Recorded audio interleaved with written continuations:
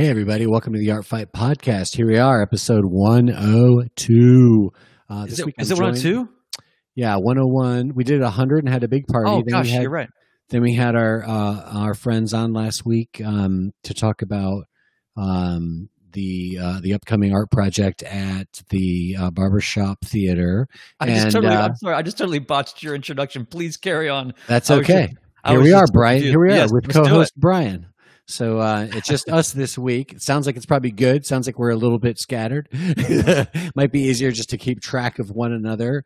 Um, but yeah, it's our 102nd uh, episode. I'll, I'll, soon lose track of this, but we're so close to 100. I feel like I can count to two, and uh, that's so far so good. Yeah. Yeah. Um, well, so we, are still kind of on the high from episode 100, which was exciting, and we had so many cool special guests. And uh, one of the nicest uh, things I heard back from that from one of the guests was basically that it just sounded like, or it just felt like uh, hanging out with friends, you know, and it just was a cool thing to have people from all over connected and talking uh, combat sports writing and yeah. fighting and all those those creative uh, people from from that side of our our sort of our business.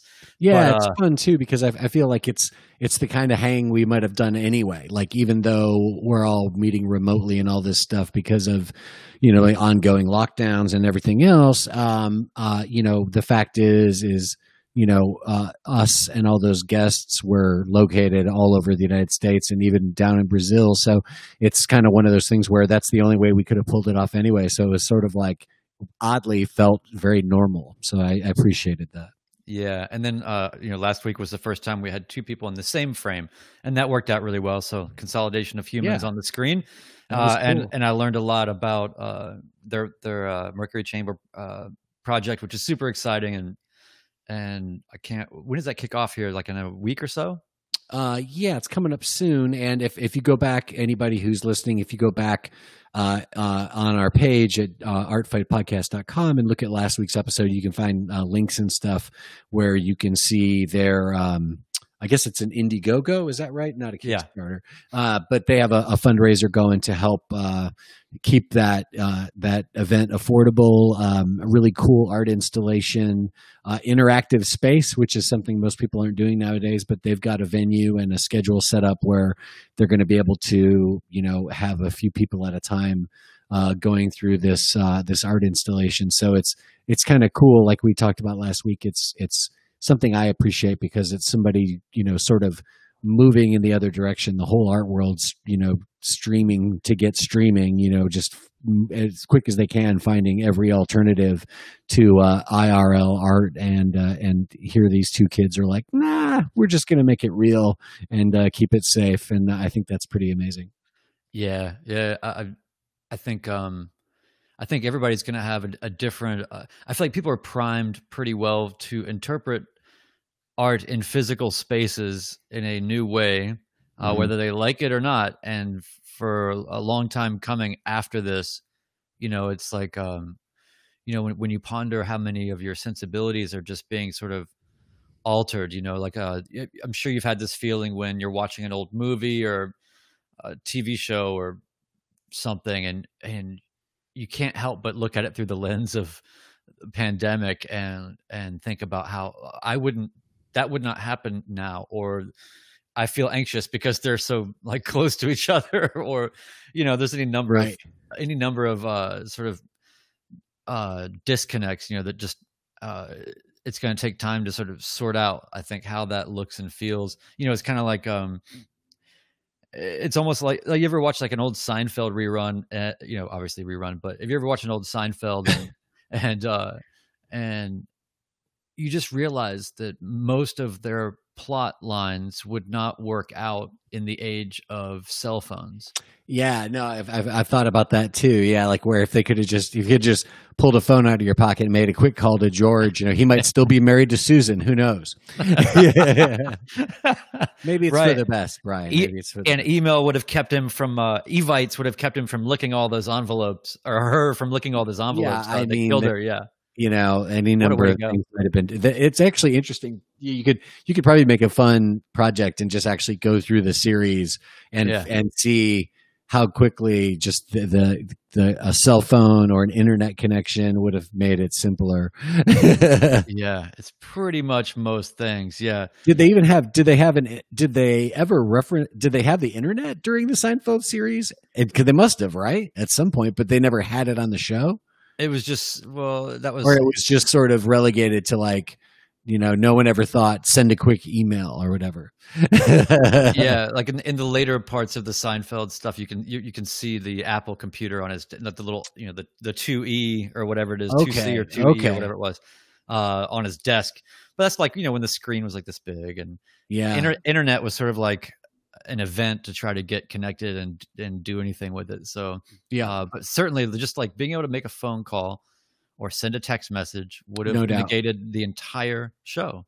I know. All of a sudden, you know, the the Chinese restaurant. I mean, all that stuff would have gone differently. Yeah. yeah. So, so I can't help but think about that with uh, respect to just any sweeping sort of changes of context and how, you know, I I wonder if a child now that's you know uh, fully immersed in of technology uh, if they watch Seinfeld and they just can't can't even uh, find they've probably maybe they find it so frustrating because it's like this is a an invalid plot, right? Like this does not. Oh yeah, they can't. They just can't bring themselves to, to, the disbelief is too much to ask. Yeah, I mean, every, or, or just it's not even necessarily disbelief, but just sort of you're probably asking a young person to connect uh, things in their in their brain that uh, where it's just they're like, I, I can't, I don't know. I just, I don't know. Right. Like, you know, or it's like watching a Tarkovsky film or something. It's like, you know, you're like, uh, even like, uh, you know, I'm trying to think of, uh, what's his name? Uh, uh, like Bergman, even like, you know, uh, where you've got like these medieval scenes, you know, where they, they're, so slow and serene because they're actually like this is how life actually was back then. It was this slow and this this you know it literally was made up of still lives because there was nowhere to go.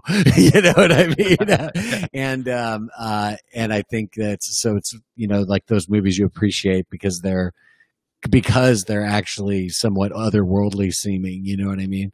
Um uh and now it's just a, a you know a larry david script um but uh, but but you know, speaking of other worlds and all this stuff, we wanted to get into uh, uh, uh, you know the art part of our discussion for this week, and uh, that was like a clumsy you know segue. But here we go, stumbling into it. Brian, there's a uh, uh, piece in Art Review that I read uh, by a guy named Martin Herbert, and it's uh, an opinion piece where he talks about like essentially like what you know now that we're all kind of at least considering the possibility of what's going to happen when we. Uh, you know, when we're able to get back to like in real life art events and things like this, you know, he's saying, but, you know, why is it that, you know, you know, essentially like now that we've had a chance to take a break from it, why doesn't anybody really care? Essentially, that's kind of yeah. the gist of what the opinion is. And he yeah. talks about how the art world went from being a place where the actual art and the sort of evolution of art and the changing styles over time and stuff would sort of be the thing that would drive the the momentum, you know, through the given through the yearly calendar it'd be like, okay, well in in springtime this sort of thing was happening and you know by fall we're either going to see more better, you know, sort of representations of that or we're going to see a, a you know the pendulum swing back the other way and things are going to become abstract again or all of a sudden like now now sculpture is the big thing that sort of thing we have styles and trends that sort of drive the calendar forward mm-hmm. but he talked about how how the art world had gotten to a place where that was even sort of secondary if i read it correctly even that had become mm-hmm. sort of secondary to just this sort of observation of the workings of the infrastructure of the art world where it's like okay well in the springtime you know we go do the small gallery scene because that's when they do these kinds of events. But you know, by the time fall comes around, you know, there's going to be another biennial, and don't forget to get ready for the Miami in the winter. you know, so it yeah. sort of turned into a thing that had you know infrastructural sort of like schedule built into yeah. it. Yeah. Um, but at the end of it all, he sort of leaves the whole the whole piece on on uh, um, on sort of an interesting note. I think I just clicked off of it. Uh, but he says, uh, what's the last line there? He says, uh, yeah, if you just stop it there, he says, but that was somewhat the case before the shutdown. In this sense, as it has done with so many other things, the pandemic has only illuminated what was already awry. Any potential reconstruction at whatever scale has to take that into account. The art world has lately gotten very good at perpetual motion and meanwhile forgotten about traction. And and to me that's a, that's a great la- Yeah. ending line. I love that. I love the way he really landed it uh, at, at the end there. And and it's a really good point that you know that you've you've sort of created a cultural uh, environment you know that has this sort of uh, built-in sort of progress motion you know that you can sort of you know uh you know sort of go through the ritual of or whatever but Yeah. at the same time it's sort of like where is like the deeper meaning and especially too now that we're going to be coming out of a world that just had a global pandemic we're going to be coming you know in the midst of a world that's having at least in america especially uh, it's not just america but certainly in america we are in the middle of you know uh, a lot of social upheaval right now an election year on top of that. Um, and in places like nashville you know we we just had a tornado there's a hurricane hitting louisiana as we speak you know there's wildfires out west you know uh, there could be an asteroid coming in from what i understand.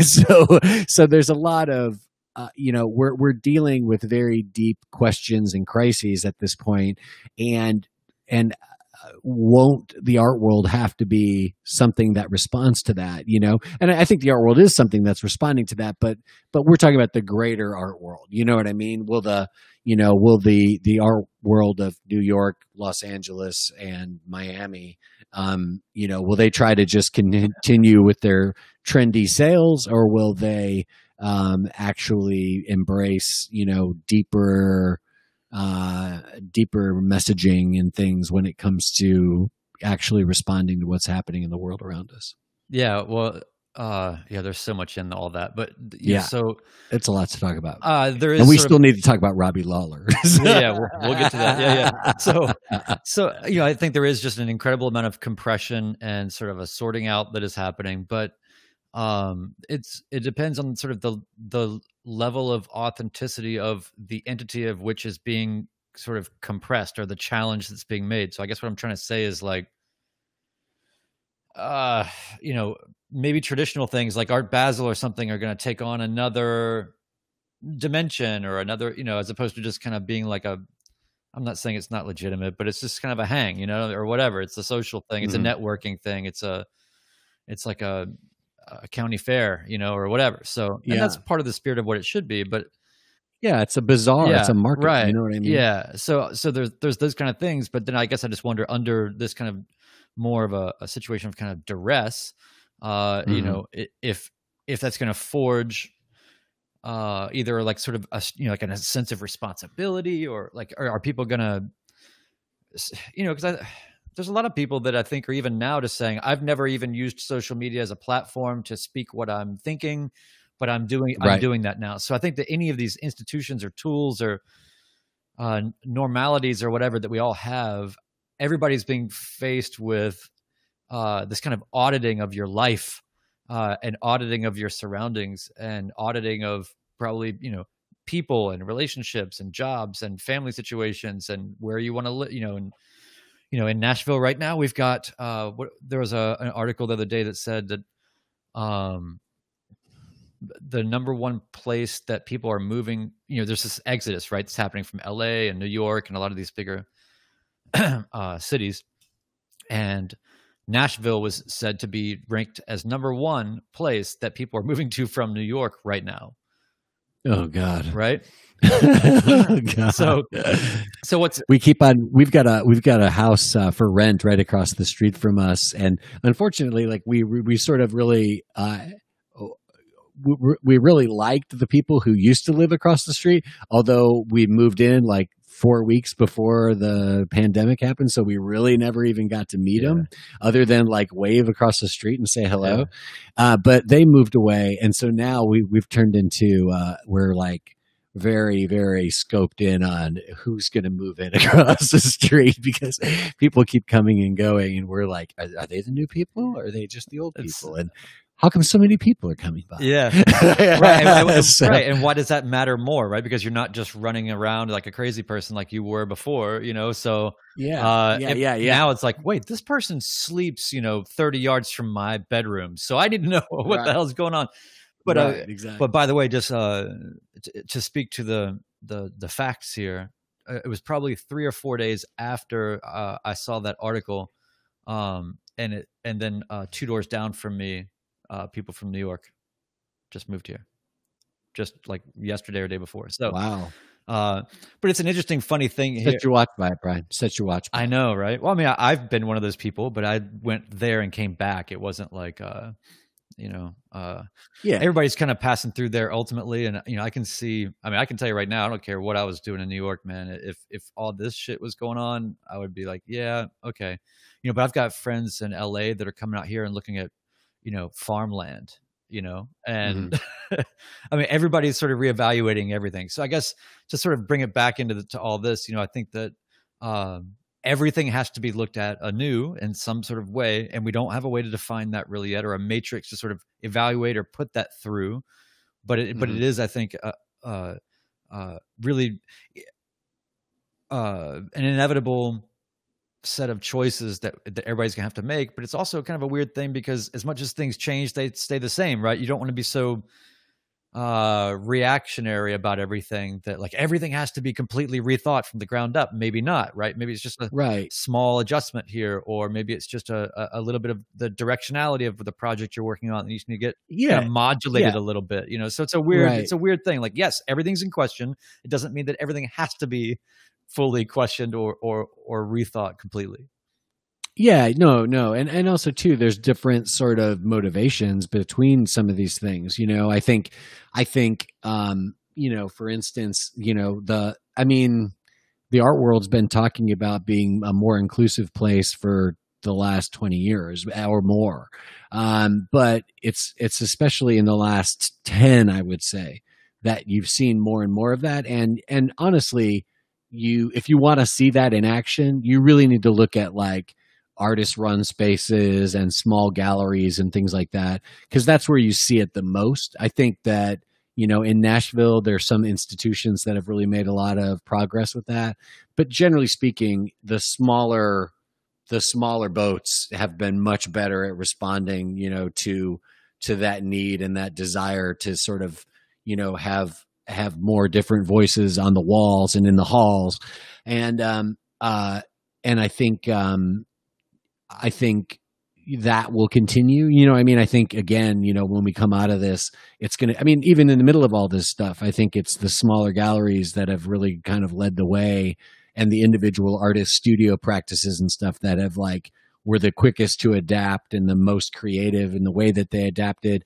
You know, I've talked before on the show about the Nashville uh, Gallery Association's virtual art crawl video, where they basically just got all the galleries to create videos when they opened up their new shows on the first Saturday of the month. And then they put those all together into one video you could watch at one centralized YouTube channel yeah and um, and that was all smart and that was all cool. But it, it's it it it's important to note that the best version of that yet was one where it seemed like the galleries had quickly run out of ideas two or three weeks in, and nearly every gallery essentially had just obviously had just said to the artists, just do what you want to do.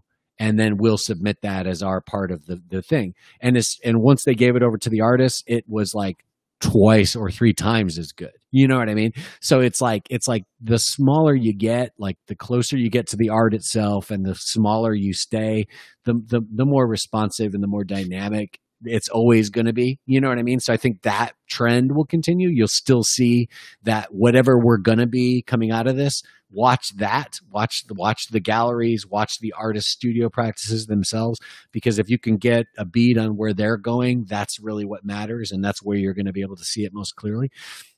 The other stuff is is still figuring it out. You know, I mean, I feel like the museums are just now figuring out how to do what they're doing, and now they're actually getting a chance to reopen. So, I just, you know, I, I think that that's just the normal way of it. But, but, and I and I think that you know, responding to all these things, the pandemic and all the stuff that we've gone through, that's going to be a part of the way the culture is reflected and at the same time there's another part of it you know which which we've also talked about and i think we need to always be be smart about mm-hmm. which is hey when things are this chaotic and we're going to sort of start reimagining everything it's like well what, let's reimagine the the uh, you know how fragile uh, these artists' careers can be when something like this goes down. And maybe going forward, you know, the old 50 50 between the artist and the gallery does that stay the same or does the artist get more now or does the gallery get more now or do we i've been looking a lot into a lot of digital things and regarding like cryptocurrency with art and all this kind of stuff and it's like in on the blockchains they're figuring out ways to make it so that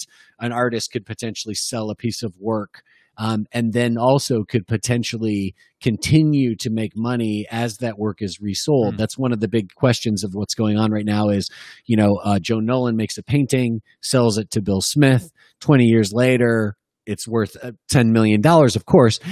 and now Bill Smith sells it for $10 million, and Joe still only got the guy who created it only got the original $500 to begin with. Yeah. Now, there's there's ways you can talk about economics and say, well, that's just the way that goes, da da da da da. Mm-hmm. But there's also other people who would argue that that you know uh, the the the person who created that deserves a piece of that ten million dollar sale ten years down the road. You know what I mean? And and blockchain technology is one way that you can sort of track and also guarantee and document that that sort of uh, financial, you know, sort of uh, um, uh, compensation for artists. You know what I mean? And that could be done with anything, with a visual work of art, with a, a an MP3, with a WAV file, with a an MP4, whatever you got. You know what I mean? So, uh, so th- I think that's one of the things I'm interested in too. Is uh, you know how can artists as workers you know and as you know uh, independent uh, creators and producers and whatnot how can we find ways to re-engage with the art world after this comes out in a way that empowers us more you know regardless of everything else regardless of what we're going to talk about regardless of of you know where we're coming from in our individual practices or whatever just in general how do artists come out of this better off than they were before versus even more disempowered by the machine. You know what I mean? Wow, that, that's there's there's a lot there's a lot in all that. I mean, that's almost like another topic unto itself because like attribution and connection to your work uh, in perpetuity through any means changes yeah. entirely the game. I, I, wanted to pull up the uh, the Gallery Association Association Virtual Art Crawl so people could get a sense of yeah uh, what this looks like. I don't want to abandon our yeah our mostly this audio audience, but this, this you know to people who can see this right now what we're looking at here is a show that was at uh, uh, channel to channel gallery which is a gallery in uh, with the wedgewood houston neighborhood of nashville. This uh, piece right here is actually from our friend omari booker. This was from a show he did called redline i don't know if this is still the red this isn't just the redline show but that was a piece of omari's. And we actually had omari on the show formerly. Uh, i was talking to Omari earlier this week. Actually, he's in, he's been in Los Angeles for a little bit, uh, making some connections there. But uh, Omari has been on my mind recently. He may be uh, he may be he may be coming up in the local media here in Nashville soon. So keep your eyes peeled for that. That sounds like but, that sounds uh, like you know something, Joe. I know. It I know some like things. you know some things. I know some things. I know some things. Well, I mean, if I ever, if I ever, if I ever make, if if they ever make a movie about uh, young, uh, a young, a very young, handsome uh, art critic, they should have a uh, I want like I want you know the equally young like Robert De Niro to play me. I know some things. It's, it's, amazing how layered your fantasy world is, right? It's like I need a time traveling. Robert oh, it's De Niro. layered, baby. it's layered. I got layers on layers over here in this pandemic, baby. Well, uh, well, so to sort of wrap up the, this our, our sort of art half of the the, the yeah. show here. Good job. We're almost right on time. Yeah, right. Well so I just wanted to kind of, and I, I do. I'm not even paying attention. I do here. want people to sort of get a sense of, uh, like, get to these these uh these videos because they're they're actually really well put together, and in a lot of ways they provide yeah. a more personal way of getting through things without having to deal with, uh, you know, yeah, and if you if you go artists. to the uh, you go to YouTube, it's the National, I mean Nashville Art Nashville Gallery Association. Look up their channel, and you'll and that's all you'll find there. Really, is they they they never used their channel before they started doing these videos. I don't think. So uh, if if you're curious at all and you want to see it, it's actually been fun because you know, again, I, I, keep on whining and complaining about the fact that this sort of digital presentation of an art exhibition just doesn't really do the trick in terms of emulating what it's actually like to be there. Yeah. I mean, it sort of does, but not really even close. Yeah. It's really bad. It's a really pale imitation. Um, uh, that said, one thing I've recently realized was uh, you they you just showed uh, Ashley Lineker, who's a uh, um, she's uh, uh, uh, one of the gallerists at the Red Arrow Gallery that I've that I uh, am represented by, and that you've actually done a show at Red Arrow with me, Brian. Yeah. And uh, Ashley's there talking about it. I think I can't remember what show that is. I think that might be uh, Jody Hayes' show. Uh, um, uh, I recently had a painting in a show and shared it with my mother and my father-in-law who's also actually a painter. And it turned out to be a real fun, uh, this actually might be the show. It turned out to be a really fun um, uh, thing to do because, like, in normal circumstances, that again, it's one of those things where it's like the digital thing for some people who live in Arizona or who, uh, like my mother lives up in Michigan still, it's like they're not going to make it down to see my art show necessarily. Maybe yeah. they could, but chances are they're not going to come down, you know? So, so it's actually a fun thing that even though it sucks that we can't go to the show in person, it's rad that we can share it with anybody anywhere. You know what I mean? So right. So one it's thing, it's one thing's know, less, one thing's more. One thing's yeah, uh, yeah. I mean, come I, on. You know, but I will say too, like there's, I, I don't know. I, I feel like that there's a there's a massive opportunity to. I mean, right now, obviously, the, the the challenge of trying to cover an entire art crawl with video and something that people will actually be able to watch and not become so overwhelmed by. I mean, and to create an experience, you're creating the pace and the experience, and they'll, they'll do sort of like survey shots and then kind of get in closer, show you details. Yeah. Uh, sometimes you know get some context from an artist and all that. I mean, it's it's really fantastic. But I mean, I feel like that it's almost like that's a discipline unto itself or a practice unto itself. For sure, that has just been forced to happen right now. That I right. think I think there's a there's a world of possibilities kind of in the, from a not a production standpoint, but just like from a uh like it's one thing to just be trying to cover your ass to get people to still see what's going on in the gallery and like let's get them some video because they can't come here. Mm-hmm. It's another thing to actually be like uh you know coming from a place of I'm going to create a guided experience. yeah, know? I mean it's a uh, filmmaking exercise. You right. know what I mean? Yeah, unbelievable. Yeah, and I think, and again, I think some people have done it better than others. You know, Mar, our, our, friend Marlos E'van, who's been on the show, he uh, he had a show of um, uh, a bunch of T-shirts he had painted that were uh, at Julia Martin Gallery back in June. Um, and uh, I've been thinking about those too, Marlos. I've been thinking about those shirts recently this week. Keep your eyes keep your eyes peeled, Marlos. I know some things about them. So, um, uh, so the those uh, the the in in June, there was a virtual art crawl video. And when they got to Julia's segment with Marlos's t-shirts, it was like it was just all of a sudden the whole thing just amped way up and they they had basically made a music video essentially and it was like it was so cool i mean it was it was such a rad fun thing to see and it, it it's and it stuck out in the best possible way amidst you know the you know other things of like here's the art on the wall and here's somebody commenting about it which is also cool and can be done very well but but but it was very creative. It was one of those things where it's like let the artist come up with a cool way to do this. That's what they do you know what i mean? Let the creative people be creative.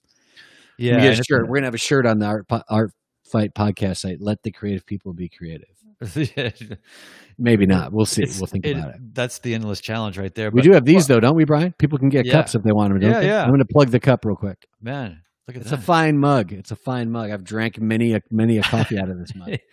so so uh, you know, I think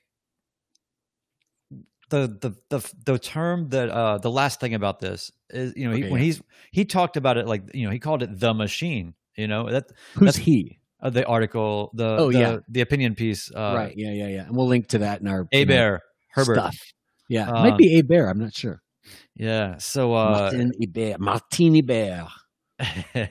so so I, that there's you know there's a presupposition with that right like it's it's it's a fixed system it doesn't have room to right. you know sort of operate on substitutes or make quick, quick adjustments and there's a bunch of self or uh, there's a bunch of dependent uh, systems inside the system you know? Right. and, and so i think that um, you know maybe that is uh, a way of sort of uh, you you could almost look at it from a perspective of if you just zoom really far out in terms of time this is all still part of the same machine you know? Like this is we've yeah. been here before like in the way that you've talked about it like you know saying like okay so what's new here exactly? Like what right. Stop saying unprecedented times you know yeah we did this 100 years ago here we are again yeah. you know right around the time that modernism came to america also came the uh, spanish flu pandemic so we welcome it. We welcome it. Right. right. We can't speak to cause or uh, yeah causation. Uh, so, uh, so uh, all right. Great. Well, so that concludes that our segment there on on all. Thank you, everyone. Things. That was really quite a quite a segment. It was though. Quite I mean, segment. it's it's hard not to meander when you're talking about something so big, but I think that at the end of the day, uh, I'm going to be interested to see what shakes out on the other side, and I think a lot of really uh, dynamic and nimble shit is gonna is gonna mm-hmm. happen mm-hmm. if it's not already. So, uh, speaking of dynamic and nimble, mm-hmm. let's move on. Yeah, so I wanted to talk about in our in our fight segment here. I wanted to talk about Frankie Edgar and Robbie Lawler, and I think you you you made some uh, comments on on like one of your Twitter posts or something, and it was interesting because your take on like the connection between those two guys was a, a little bit more nuanced and complex, and perhaps more interesting than mine. I was just sort of bringing up the idea of talking about both these guys because of the fact that you know, Frankie Edgar kind of pulled off the impossible last week when, uh, you know, he's a, a, storied veteran who's pushing 40, who went down a weight class and, and won a fight that many people said he, that he didn't have a chance to win. And now, yeah. because, partly because of his performance in that fight, but also partly because of the fact that he's Frankie Edgar, this this you know UFC legend. Um, people are now saying that he could be one fight away from a title contender, uh, a title contention fight. Uh, you know, uh, at, at, his new weight class. Um, yeah. And now this week we've got Robbie Lawler coming up. Robbie is on a three fight losing streak, I believe.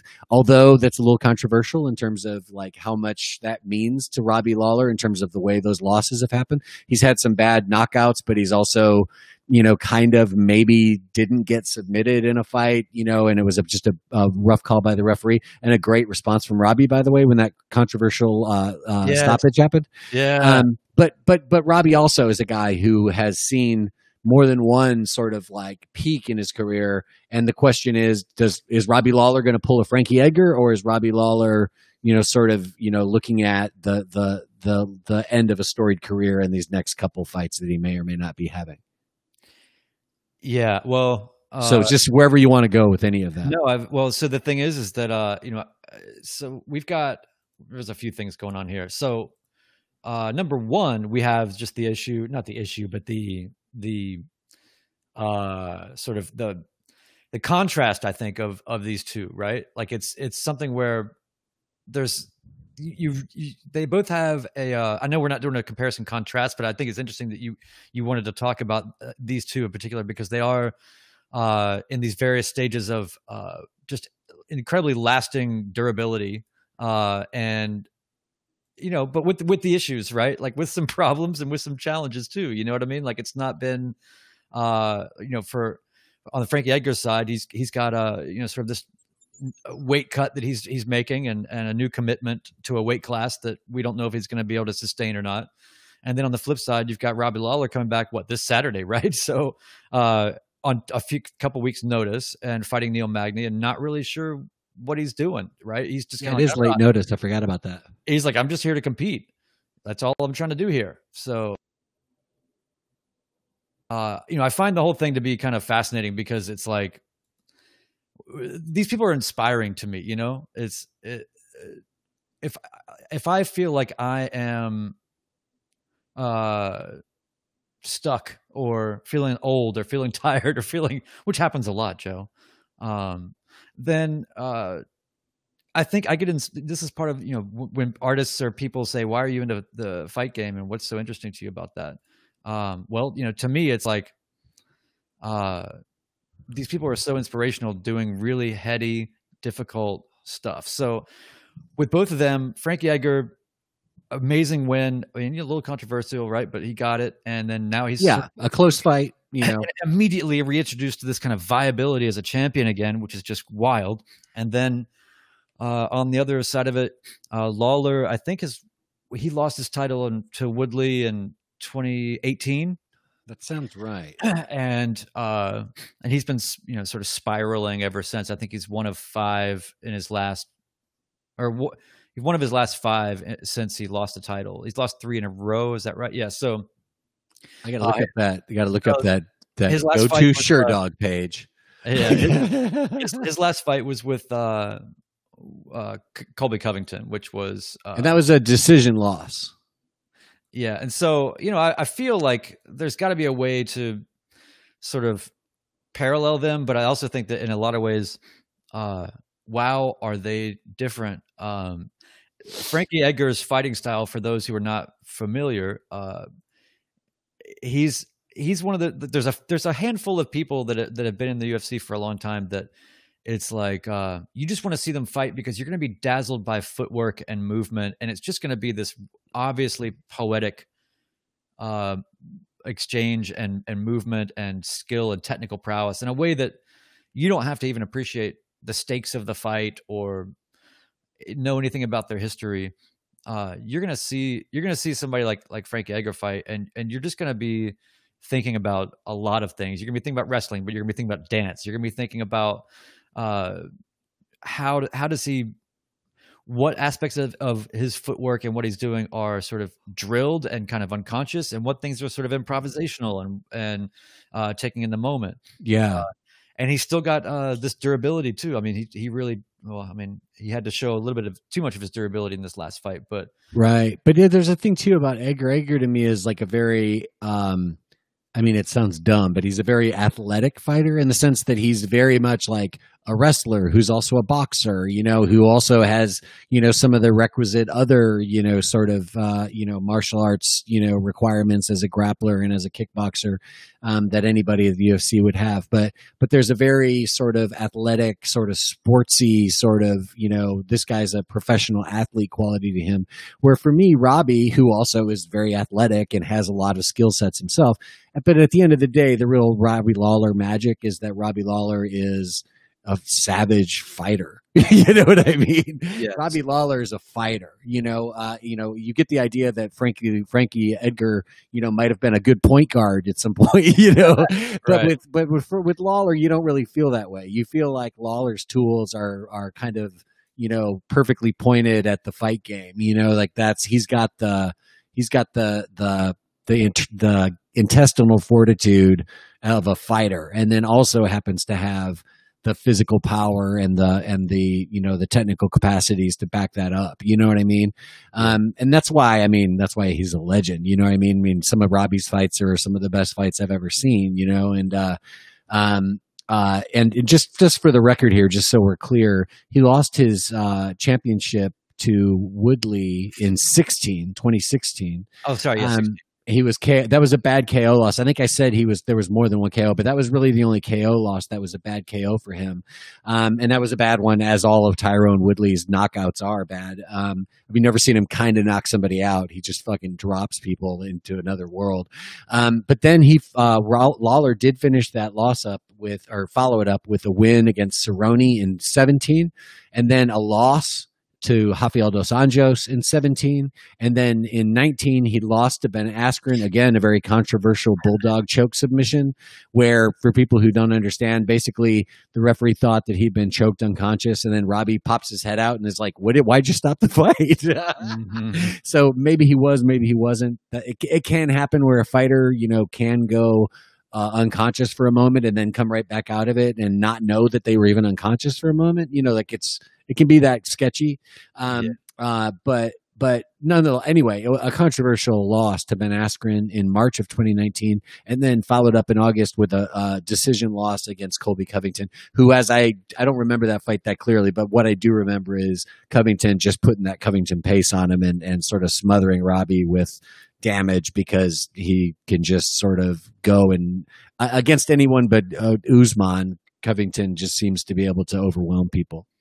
Yeah, and I think that if you're in you know, uh, uh, I think a lot of fighters, when they get on in their age, they really want to get to the point where they are, um, they're looking for kind of more one one shot knockouts and yeah and know, definitely also like uh, controlling the pace situation you know what i mean? Because that's where that's where the you know the these other fighters you know who are younger and and are questing for those first championships and you know and also covington that's like you know people hate the guy but at the end of the day he's got a gas tank from here to eternity. You know what i mean? There's i mean it's insane actually.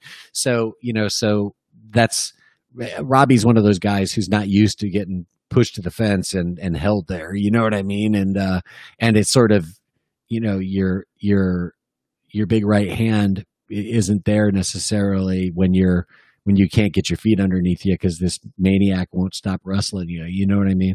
Um, but that said, it's actually interesting. I remember seeing uh, what was the fight that that he had. I was looking over some of Robbie's old fights, and there was that one fight against uh, who was it against? Uh, I can't. I don't know if I'm be able to find it. It was a while ago now that I'm looking, but it was. Uh, uh, was it? No, hold on. It was a KO win.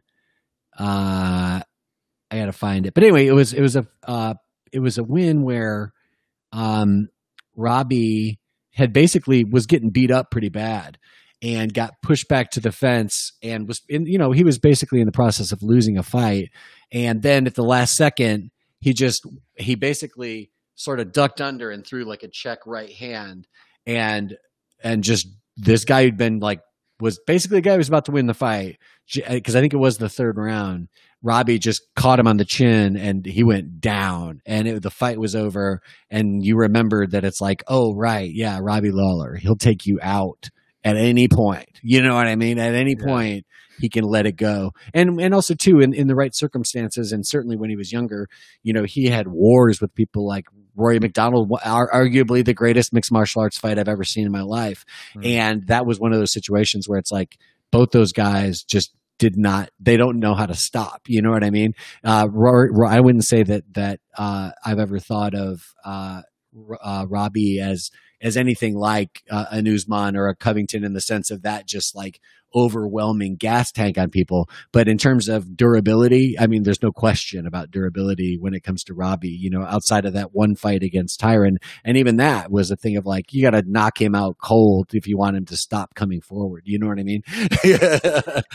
yeah. Uh, well, you know, when you when you're looking at stuff like this, right? Like this is this this is when you're when you want to sort of turn somebody on to uh, yeah, don't, the beauty don't, of combat sports. Don't show them, uh, or, or, uh, show them this. There's a certain fan if they saw these just these stills of him and Rory, they'd be like, "I'm sold." And there's other people who'd be like, "I don't ever want to see this." yeah, I mean, uh, but it, but it it's it's kind of like uh, I've kind of got a I've kind of got like a Rory MacDonald thing going on right now. You see this? Yeah. Oh yeah, I like that. I got nice. more. Mine's a little more mullety though. Yeah. I need to get yeah, I need to get that going. So so you know, it's almost like um like when you're a teenager, right? And and you're trying to like turn on some friend of yours to some music that you like or something, but you know that he's a metalhead, you know what I mean? So you're like, oh, yeah. okay, I'm gonna have to find like the heaviest right. uh, it's it's prog rock, and I want to I want to introduce him to the world of prog rock. Right. but man, it's got to be something with a heavy riff to get him in. Right. so uh, Rob, Robbie Lawler and, and, Roy MacDonald is is like is sort of like as close to like uh, Pantera as as you can uh, get. You know, it's just in yeah. your face. Uh, yeah. So that was that'll always be a, a, landmark. And you know, Lawler's mouth almost fell off, or what? You know, it was it was pretty yeah. gross. It was pretty gross. So yeah, uh, without getting into the details of that, you know, I think that you know, kind of coming back out to sort of looking at Frankie Edgar, looking at Robbie Lawler. You know, one one of the things that I think is common between them, although Edgar's winding up very quickly in a different place uh, right now, is that they both have this baseline sensibility about them that is made of experience and and uh, you know so so they have all that sort of underpinning of, of experience, but but they're both coming from a place of of very simple. I'm just glad to be here. I'm just glad to be competing.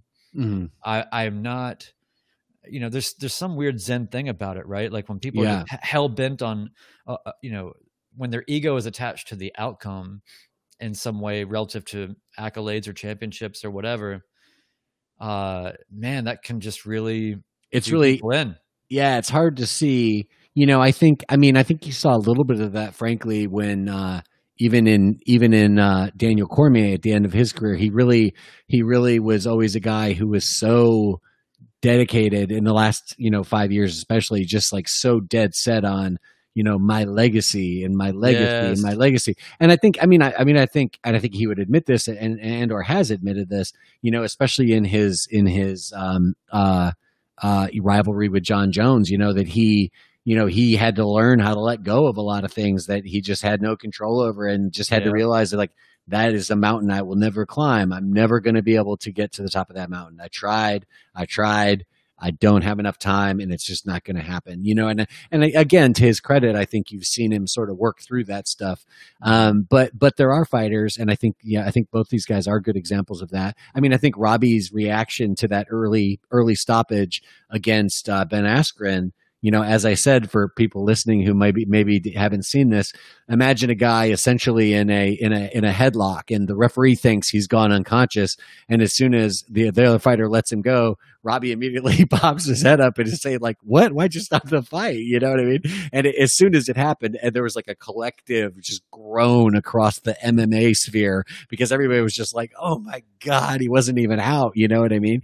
But it can be hard to tell because you can't even see his head or his eyes or anything.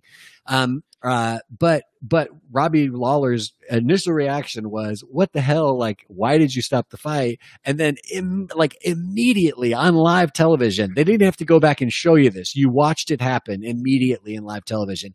He immediately followed that reaction up with, "Hey, it's okay." Like, I think he even reaches out and like touches yeah. Herb Dean on the shoulder, yeah, yeah. and he's like, "Hey, man, it's okay." And he completely and it's even more evidence that he was never unconscious because he was this aware of what was happening that yeah. he was he was so aware of it that he actually you know overcame his own reaction in the moment to be the bigger man and say hey i totally understand what happened i'm removing the context from my own self my career my win that just got stolen from me yeah. and i'm going to reassure this other guy that he did what he had to do and, and he made the best decision he could make. That's insane. It's insane that that yeah. that he's got that sensibility. But it really does speak to the idea that and even him coming in like late, you know, uh, you know, this was a situation where you've got a fighter was supposed to fight somebody else. That guy, did he have to cancel because of a COVID situation or why is the other fighter out? I don't remember why. Who was going to fight Magny? Do you know? Uh, can't remember now, but yeah, it's some kind of. But anyway, yeah. but was it COVID related or was it something else? It doesn't matter, but yeah, yeah, but know. regardless, uh, you know, the, there was a, a, a, a, you know a slot on the card, and in a short notice situation, Robbie Lawler's like, hell, I'll fight him. You know what I mean? And to me, that's also indicative of that sort of you know i'm not trying to you know enact my perfect precise plan that will get me to the next place that will get me to the next place that will yeah. land me on the great throne of the yeah. of the you know the championship title it's it's a guy who's like hey i'm healthy i need some money uh, let's fight yeah. you know I, I, I, it's amazing how people respond to uh, uh, expectations whether it's their own or external or the the public perception or whatever it may be because i mean how many times have you seen uh you know these kind of stories that happen you think about like jeremy lin coming into the nba you know and just tearing it up or you know people that come off the bench and just never get to oh, play oh, yeah. and have these amazing you know right. playoff games or or uh you know i got quarter- one name for you rudy yeah right yeah exactly.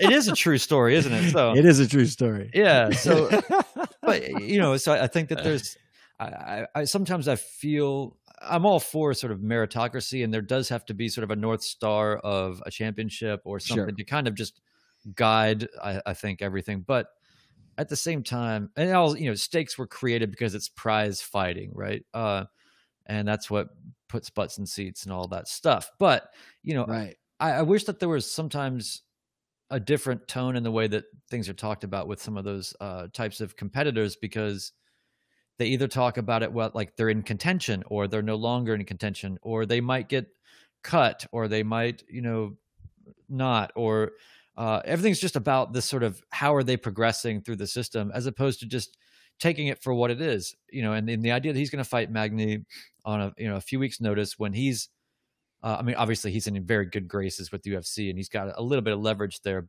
historically but three fight skid i mean on for most people that means this is a do or die must win or whatever you want to call it uh, or i'm going to be out of the best promotion and then what am i doing at that point? Which brings me to my next sort of comment which is basically just to say that these people that are like oh i'm going to go to bellator i'm going to go to one i'm going to go do these different things uh, it's, it's weird that people have a hierarchy assigned to it I, I can appreciate that it's fact on some level like the best talent kind of goes to certain places but I mean, it's not empirical, and it's it, there's so much to learn and so many insights to be had from seeing people just in different contexts, in different situations, doing different things with a different sort of uh, set of competitors to to battle with, or to go up against, or to yeah uh, to show in a different type of relief or or contrast. So, I don't know. I I hope that Lawler wins because I want I don't want him to be that many down, you know, in uh, in a right. row. But uh, yeah, you don't you don't want that for anybody, and you don't want him to take yeah. any damage, right? But um, yeah, I think I think he will win. I've got a feeling that that Lawler will win this fight on Saturday. So you heard it here first, folks. I also want a really quick shout out to our friend Paul, who's uh, chatting with us as we're doing this. Mm. I'm not sure what what uh, what platform he's on, Brian, but uh, but he he rightly guessed that my uh, my repeating the phrase "I heard some things" over and over again is actually a scene from Raging Bull. Oh, I've got it. Yeah, I've got it. I've got it here. There it is. I heard some things. I heard some things. I heard some things. it's a great. It's a, it's really a Scorsese thing. It's also a, uh, a very David Mamet thing to just repeat information over and over again. If you want it to sound really that's what maybe maybe that's what we need more of. You know, uh, Warhol was really into repetition, and maybe just through repetition, the art world will again find deep traction because there's something to be said about the aesthetics of repetition in terms of creating meaning. So.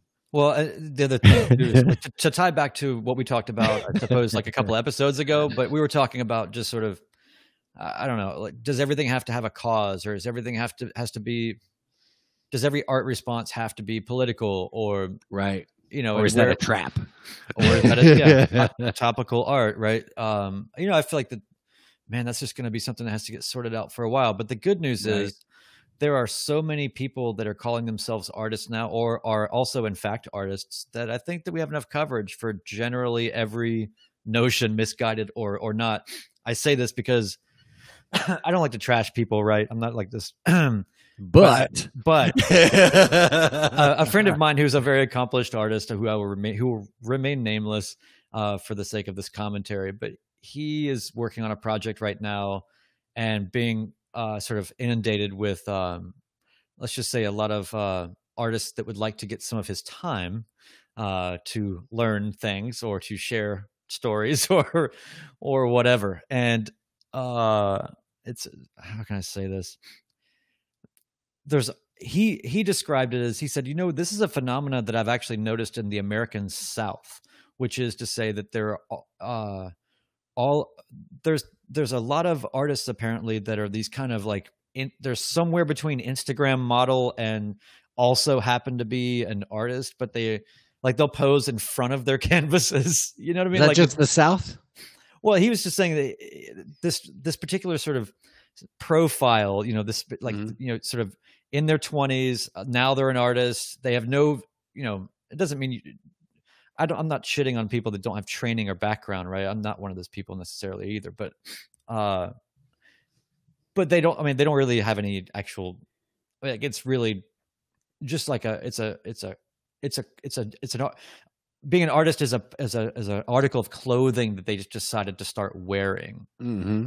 Uh, and I think you know what I'm talking about. Like without, I know what you're talking about. I just don't know that as a Southern thing. I know that as a yeah. dumb human thing. Yeah. I think maybe more specifically, he was just talking about like uh, there's just a there's local examples, perhaps. there's just there's a lot of they all sort of seem to paint in the same style, which is weird. But it's it's, it's always like not always, but generally it's just this kind of really sort of uh, I, you know abstract because whatever, and it's just like in a color palette to be above your couch and Right. nothing, nothing you know decor type of art nothing wrong Right. with that but it's Sure. just it's uh it's just interesting though because some of it gets really really sketchy um Right. and really problematic on some level but uh you know there's there's all kinds uh, there's all kinds but It's you know true. uh which which which side are you on uh no I, I i'm not really into topical art and i know we covered that but um I just Uh, can't take enough cute pictures of myself in front of my art, Brian. yes no. yeah when you when you gonna do some jeans shorts uh in front of your your next work or something Oh, Joe? yeah. come on It's a good idea. Yeah, it gets your Daisy Dukes out. Uh huh. Yeah. It's it's about time. Summer's summer's almost over. I got about a month left.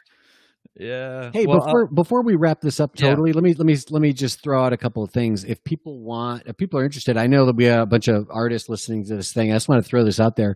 There's a new um uh mail art project that's being organized through uh a guy named Jason Brayman in Nashville, uh, or I'm sorry, Jason Brown in Nashville, um, does uh, does these various art uh, mail art projects. He's been doing them for years, but during the pandemic, of course, it's really picked up. I was participated in a project he recently did, and uh, that project ended up getting profiled in Time Magazine. And uh, he's he's really done a good job of promoting these shows and really curating these really interesting projects. So he's got another one going on that's kind of more based on voting by mail.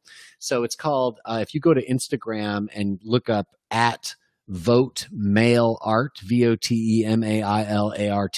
um, there is an uh, mail art project that you could be a part of and uh, uh, it's pretty open democratic and uh, go check it out. So i think it's the kind of thing that if you're yeah there you go. Thank you brian.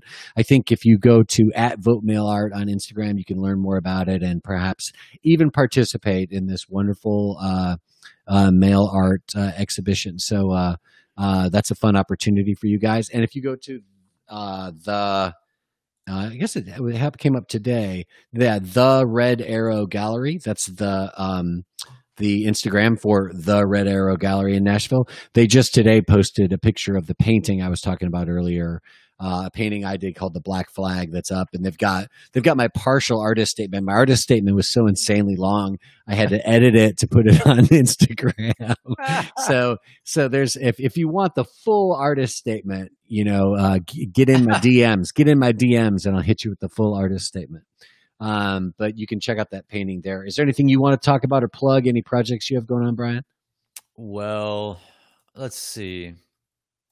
No, no, not right now. Um, but I, you know, uh, an update that you're not asking for, though, I'll give you is, um, and something I actually would like to kind of get into maybe on another uh, episode at some point. Um, but I think that there's something about uh, wood shedding and learning during this time Mhm. that has a different sort of sheen and a different importance or or something right now. I mean, we're all sort of doing that weird prepper kind of thing, right? Everybody's cleaning out the closets and all that shit, right? Or whatever. But but even more more deeply, uh, you know, so I, I'm working on uh, essentially new uh, for you know people don't know maybe what I do, but uh, I do a lot of maybe film work and drone work and those types of things. I also do a lot of music and soundtracks and uh, you know been doing music actually more than probably anything for the last 20 something years but i've just been sort of in a place where i don't want to deal with the computer anymore uh, for music. And so i'm kind of going into this uh, what you would say a DAW-less setup daw less uh, digital audio workstation less setup. And um, so i've got sort of you know, i'm sort of getting back uh, out into sort of sequencing and sampling and things that I was sort of doing in the 90s when I first got started. And there's a, a pleasant uh, sort of set of constraints. And then maybe uh, limitations, you know, but uh, in a good way. Uh, it's been it's been really it's been really awesome, and not having screen time equate to um, creative anything, right? Like I, I Uh-huh. I'm, I'm really happy in the same way that maybe a writer would just enjoy, uh, you know, just writing on paper right. and not looking at a screen you know uh it may some may say like well that's kind of you know a waste right because now you got to transcribe all that and whatever but it's like no no but like you get stuff out in a different yeah way and because you're stuck at a particular pace and you don't have immediate ability to undo everything and redo Right. everything and copy paste whatever like it forces you into a flow uh, uh, and so uh, i've been reworking all of my my setup in those ways and it's just been really interesting and also. I, I was just telling uh, my wife yesterday you know i said she's like well you reevaluate all this stuff all the time i was like no no but you don't understand like the level of which i'm going right now is is deeper and more fundamentally a shift than anything i've done since the 90s you know Mhm. and and uh and the other part of it's weird is like when you're in your you know uh 40s late 40s uh you start to kind of think about your decisions a little bit different you know what i mean you start to think about like uh it's less like i'm going to try this now it's more like i got to make some decisions about what i'm going to use This could be my last recording. right. right like exactly. Like you, you, you kind of get to this point where like this this this is kind of starting to get into swan song territory you know what i mean? Like like i really need to pay attention to what i'm doing and i really want it to be a fruitful sort of uh productive pleasing tactile satisfying way of working for a long time. Mhm. and uh it is it is interesting you know but i've done all this with my camera setups. I've done all, i've done all this kind of revamping with everything lately. And i just i have found that uh it's very different than say when i was in my 20s right? Where you're just like man like this is this you know shiny object. I'm gonna go try this or i'm gonna you know it's now it's sort of like no i'm just trying to like tie stuff down to the to the to the dock here. Like i am not hmm trying to like uh Yeah. change the world by uh understanding some new thing that other people don't you know like yeah, yeah, yeah, yeah. I do. I'm I'm kind of in a weird space because I'm trying to basically get my get my um, audio recording space like up and running in my new house, and uh, and it's basically been like one of the spaces in the house that's been like I, I I've got a bunch of like recording stuff on that was like in the middle of happening. So it's it that you know before the whole shutdown happened or whatever. So it hasn't been a huge priority to get that finished. But to the degree that it is a priority that I keep on focusing on little by little just to kind of keep it pushing forward I've had to realize that it's like, you know what, all this, uh, you know, gear that I had in storage and all this kind of stuff. Now that I've got a chance to get it all and play with it again, it's sort of like this thing is ancient, and uh, and I can I can upgrade this for pennies now because I can get something because right. the cheap thing is still much better than the thing that I've got, you know, which is the too Yeah. old thing at this point. Because give any this happens- examples as soon as you well i bought a uh, i bought a um uh you, you again for people who don't know any different you, you need to have an audio interface to uh to get music into your computer to keep it simple okay so you can't plug a mic into your computer so you got to have something to plug a mic into that can plug into your computer but that that piece of equipment is really going to have a huge part in determining the quality of sound that you're going to be able to get into that computer. So if you've got a nice mic, you want to you want that nice mic sound to get all the way into the computer. So that interface is really important. And um, uh, I can't remember how much I spent on the thing I used to have, but for about a hundred, I think it was less than hundred and fifty dollars. I got a piece of equipment called a Scarlett 2i2 uh-huh, um, focus, right Focusrite, yeah. Yeah. Focus Focusrite basically makes a whole lot of different interfaces, Mhm. and and that Scarlett Two I Two that's basically uh, it's the third generation, so it means it's like its most updated mic preamps, which is basically what makes that sound quality happen as it goes into the computer. yep And this is not for your credit, your Yeah. your you. yeah, yeah no i know i know and, uh, tell me more Yeah, yeah, really, a preamp so um uh and then it's also the it's also that 2i2 designation is really just about the size of this thing how many inputs it's got and whatnot and this is a very small setup that's really just essentially for somebody who's at home mostly making their own music and or maybe somebody's going to come over to my house on a saturday and track some guitars or something you know but i'm not planning on recording whole drums kits or anything like that in my house so so uh, it's a pretty small box but between that and uh, my new mic the other day I had a recording that was already in process. I don't know if I mentioned this on the show or not, but I've got a new single that's coming out. And one of the things that we wanted to do between my producer's studio at his place, my drummer and his own studio that he has set up with his drums at his place, and then my place, we all sort of did different tweaks and things on this on this older recording that we had to not to really fix it so much, but just to add to it and yep. and finish it. You know what I yeah, mean? Yeah, yeah, yeah. So, and one of the things I wanted to do was I I really felt like I knew for certain that as a singer, I could do a much better performance than the one I had. It's not out yet, Brian, but it will be soon. and I'm going to put it out. I think the day after the summer solstice is is a Tuesday, and so Tuesday is a big day to put your new recordings out. And uh, I love I love astrological releases, so it'll be late September, the 22nd, I think is the date.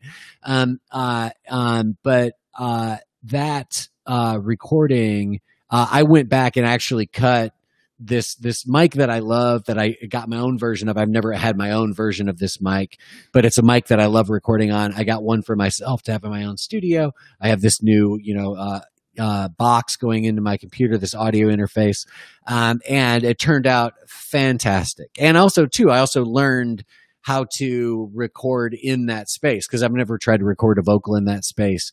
Um, but I learned that if I oh if I face a certain direction into this corner where the vaulted ceiling of my attic is meeting right. the the this carpeted floor in just such a way that all of a sudden you realize that there's no sound like all the sound just dies in that corner. So yeah. I just scream into this corner and this mic does a great job. So so it was really a fun learning experience. But but anytime that you're dealing with sort of upgrading and and just trying to put together something, it's it's kind of the opposite where suddenly you've got to consider hundreds of options for every budget and category. Uh, yeah. you know, so it's not like how it used so to be where trying, there was like I'm trying to do yeah.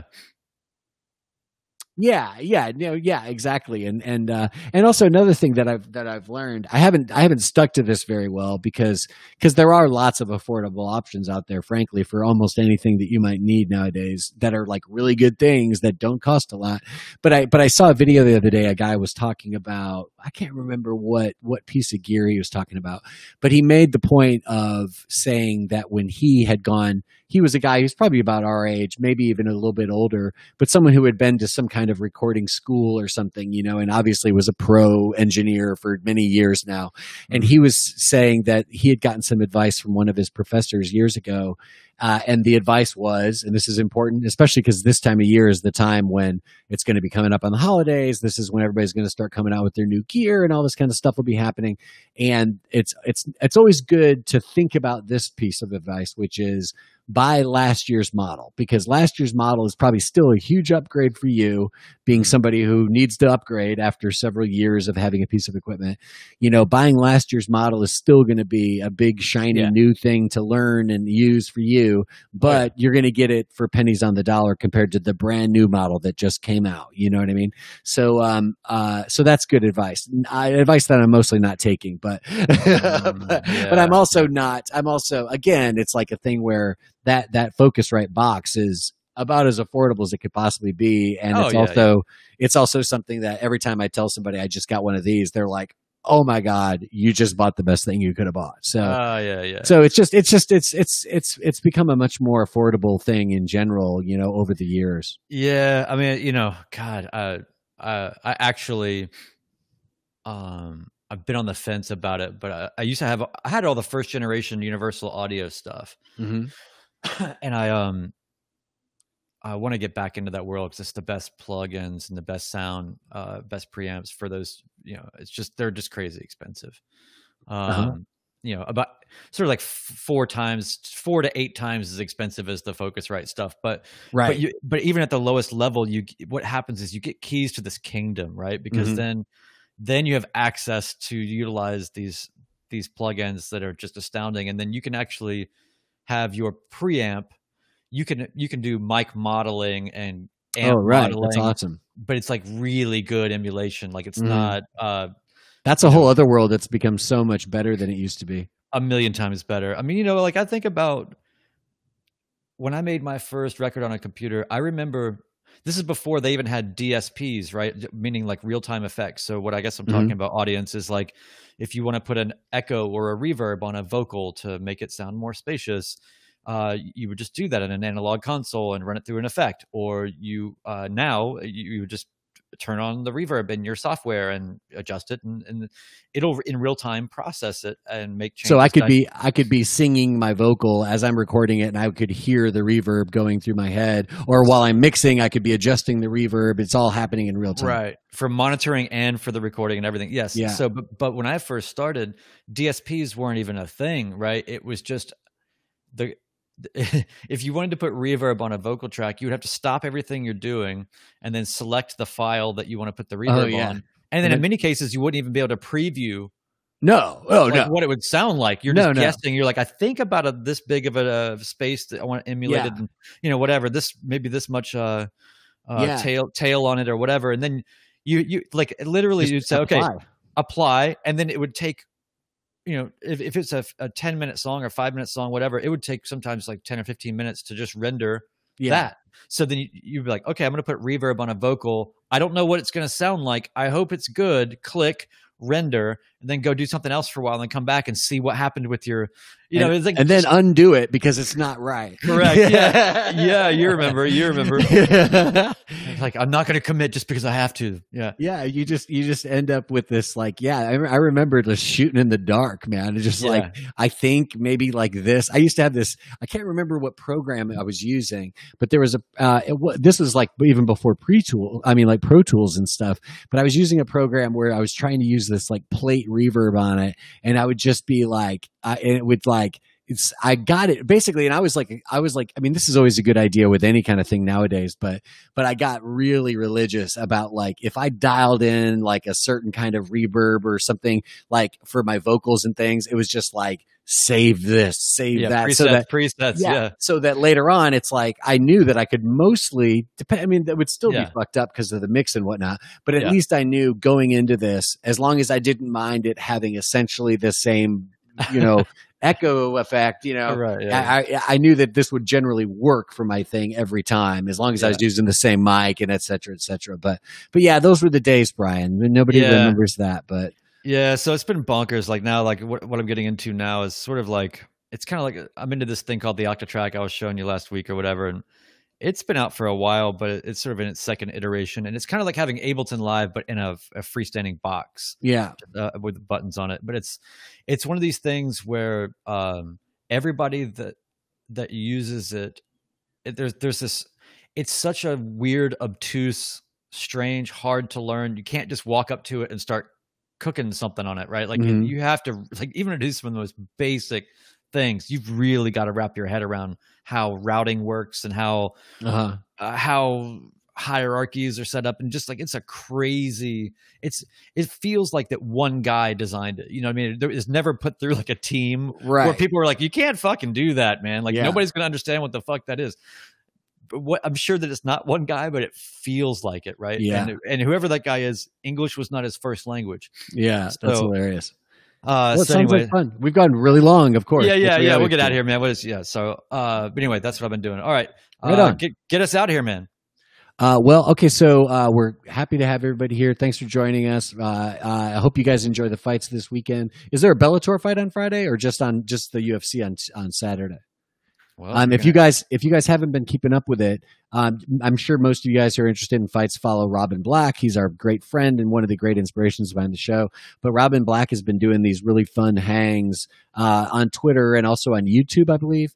Um, Yeah. Follow at Robin Black MMA on Twitter. But he's been doing these really fun hangs uh, on the nights of the Bellator fights, and it's been it's been so fun to uh, just sort of watch the fights with Robin and um, and uh, you know all the different guests that he's had on. Last week he was he had on uh, uh, Wonder Boy's dad, Coach uh, um, uh, uh, Thompson, and uh, and they started talking about all these different weird martial arts, and at some point they got into some kind of martial art that was strictly kicking, and then I was like texting in and saying like, "Hey, is it anything like savate, which is like a French foot fighting technique?" And then all of a sudden, I've got like Robin Black and Coach Thompson just going off about French foot fighting and how it originated as a game with these sailors and stuff.